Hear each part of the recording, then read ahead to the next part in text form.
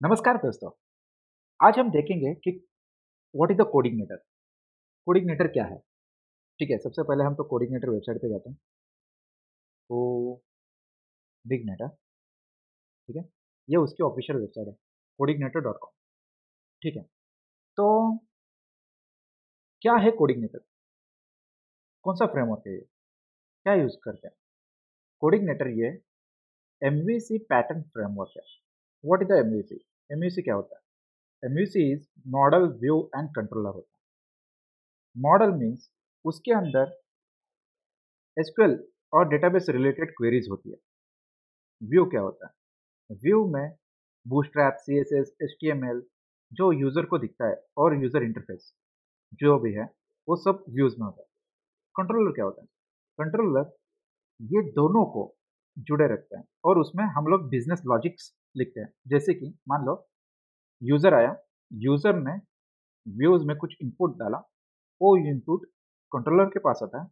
Controller वो model के पास भेजता है। मॉडल कुछ क्वेरी बना के डेटाबेस में सर्च करके रिजल्ट्स लेके आता है। वही रिजल्ट्स हम वापस कंट्रोलर में लेके आने के बाद बिज़नेस लॉजिक लिखते हैं।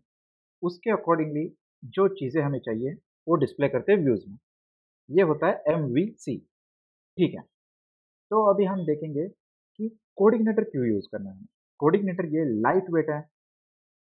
और इसमें हम अच्छे अच्छे फ्रेमवर्क अच्छे अच्छे वेबसाइट्स बना सकते हैं इसके लिए। और इसका डॉक्यूमेंटेशन बहुत अच्छा है। तो लेटेस्ट जो कोडिग्नेटर है वर्जन फोर उसे हम देखेंगे।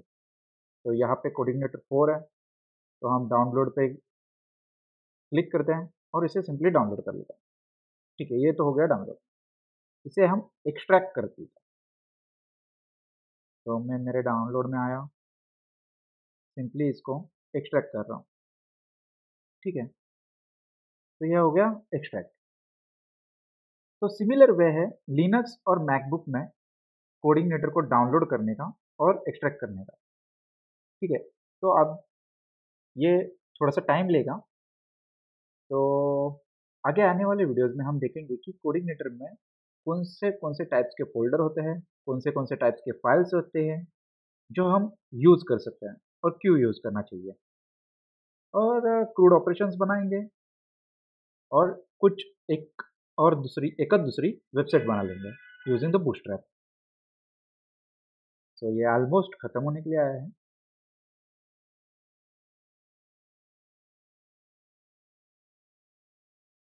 ठीक है, ये ख़त्म हो गया। तो इसके अंदर जाता हूँ मैं इस फोल्डर के अंदर। ये सब कॉपी कर लेता हूँ मैं, सारे के सारे। और आपके पास जो भी आपने जैम्प और वैम्प जो भी यूज़ कर रहे हो, उसके अंदर जाके एच टी पी डॉक्स में मेरा एच टी पी डॉक्स है मेरे एच टी पी डॉक्स में जाऊँगा। आपका सपोज़ वैम्प है तो आपको डब्ल्यू डब्ल्यू में जाना है। तो यहाँ पे एक सिंपली फोल्डर क्रिएट करते हैं। सी आई नाम से। ठीक है। और इसके अंदर आके मैं पेस्ट कर दे रहा हूँ। ठीक है? पेस्ट किया मैंने। सारी फाइल्स यहाँ पे पेस्ट कर दी। अभी सिंपली हम जाते हैं ब्राउज़र में और यहाँ पे टाइप कर लेते हैं लोकल होस्ट और सी आई और इंटर देखिए, यहाँ पे सब फाइल्स और फोल्डर्स दिख रहे हैं तो हमें पब्लिक पे क्लिक करना है सिंपली और यहाँ पे रन हो गया है CodeIgniter four point three point six ये लेटेस्ट है। सो so, ये तरीका होता है इंस्टॉल करने का डाउनलोड कर सॉरी डाउनलोड करने का इंस्टॉल करने का और रन करने का। अगर आपको कुछ क्वेश्चन है तो आप कमेंट में लिख सकते हो। और वीडियो के अंत तक बने रहने के लिए धन्यवाद। Thank you so much